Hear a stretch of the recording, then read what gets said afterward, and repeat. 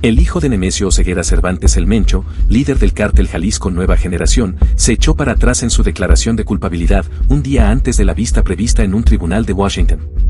Así lo dio a conocer el medio estadounidense Courier Journal señalando que Rubén Oseguera González el Menchito quiere ahora que se celebre un juicio y mantiene su declaración de inocencia, en relación con las acusaciones de haber traficado toneladas de drogas a través de la frontera hacia Estados Unidos. Su padre el Mencho sigue siendo uno de los principales objetivos de la DEA, que ofrece una recompensa de 10 millones de dólares por información que conduzca a su captura.